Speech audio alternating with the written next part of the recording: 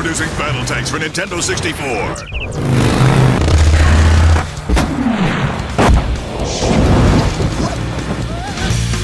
Explosive tank action for up to four players.